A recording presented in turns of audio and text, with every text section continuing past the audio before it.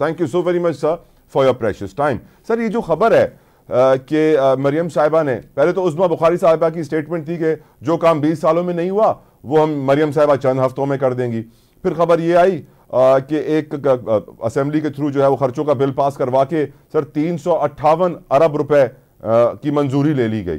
तो सर, आपको क्या लगता है कि ऐसे काम होने जा रहे हैं जो 20 सालों में नहीं हुए और अब हफ्तों में हो जाएँगे थैंकफुल फॉर योर दिस मुझे आपने लिए लाइन पे। आज जो था बड़ा इट वाज इंटरेस्टिंग कि हमें कल रात थ्रू आर ओन सोर्सेज पता चला कि असेंबली का इजलास ये इमरजेंसी कन्वीन कर रहे हैं और उसमें ये एक रेजोल्यूशन पुट करना चाह रहे हैं फॉर दी ग्रांट ऑफ़ ये तीन सौ अट्ठावन अरब रुपया इक्यावन करोड़ इतने लाख इक्यासी हज़ार रुपया for administrative purpose for one month एक महीने के लिए। तो एक महीने के लिए सर।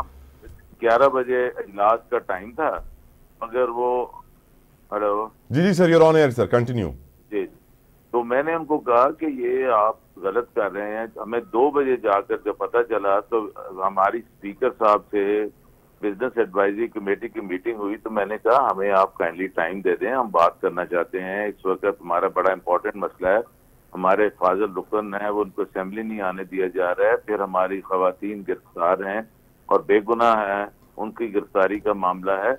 इन चीज़ों पर हमारी रिज़र्व फ़ीस का मामला है। आप हमें बात करने उन्होंने कहा, नहीं, बिल्कुल आपको मौका दिया जाएगा, क्योंकि आज है।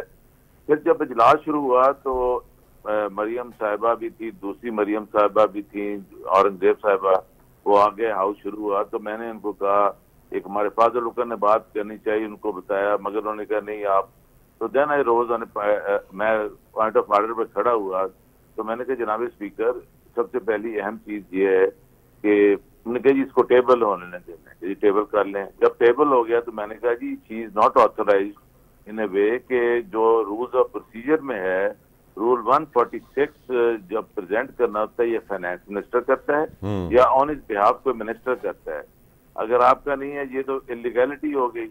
तो स्पीकर साहब ने उस पर रूल आर्टिकल 125 पढ़ा। मैंने भी सुना, मैंने भी उनको पढ़कर देखा, उन्होंने पढ़ा, मैंने भी देख लिया।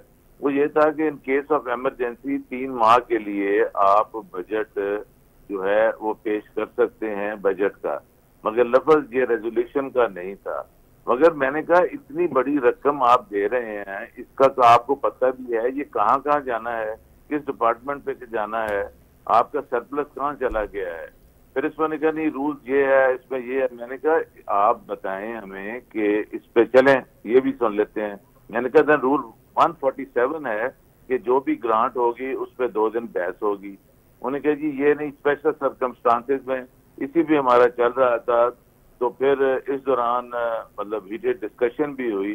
तो उन्होंने स्पीकर साहब ने फौरी तौर पर इसको हाउस में पुट करके आइज़ नोज़ करके ना इसको फारिग करके कुर्सी छोड़ के चले गए। और हाउस को कर दिया। This is very unfortunate Rana साहब राणा साहब राणा साहब तीन महीनों के बाद जून का महीना आ रहा है। फरवरी खत्म हो गया। तीन महीने नहीं ये एक माह के लिए किया है। नहीं मैं मैं मैं, मैं कुछ और पूछ रहा हूँ सर। मैं पूछ रहा हूँ तीन महीनों के बाद जून आ जाएगा जिसमें बजट पेश करना होता है बजट की तैयारियाँ ईयर एंड क्लोजिंग हो जाएगी फाइनेंशियल बुक की। अब तीन महीनों से पहले ही इन्होंने एक सप्लीमेंट्री बजट की अप्रूवल ले ली है। जो कि तीन सौ अट्ठावन। अभी आईएमएफ से मुजाकर भी राना साहब होने हैं। तो ये आपको नहीं लग रहा कि सर दाल में कुछ काला है? नहीं इनके देखें they are not properly prepared they are doing illegalities in financial matters also आप देखें कि इज़ इट ड्यूटी क्या ये ड्यूटी है या इसके आती है उनके इख्तियार में कि निगरान हुकूमत का काम होता है डे टू डे बेसिस काम।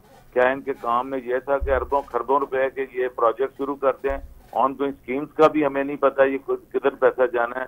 ऑन माई पॉइंट उन्होंने लिस्ट दे दी, उस मोहतरमा ने पढ़ी भी नहीं और हमें जाते वक्त पकड़ा दी। तो दीज आर ऑल वो वन साइडेड सा कर रहे हैं बुलडोज करने की कोशिश कर रहे हैं। I don't think this is good for the democracy because हमारा जो मैंडेट चुनाया गया है, हम उस पर फाइट कर रहे हैं।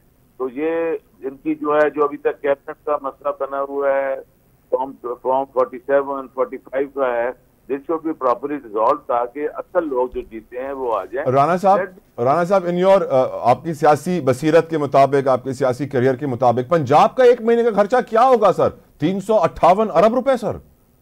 सर खरब रुपया नहीं ये तो वो बता रहे हैं ना कि जी हमारे मैं तो हैरान हो गया हूँ मैंने फिर ये कहा it is very important to mention मैंने कहा आप इस पुलिस को दे रहे हैं जिसने हमें कॉर्डन किया हुआ है। हमारी जामा तलाशी लेके हमें आने देते, कोई बुरी बात नहीं है। ले लें हर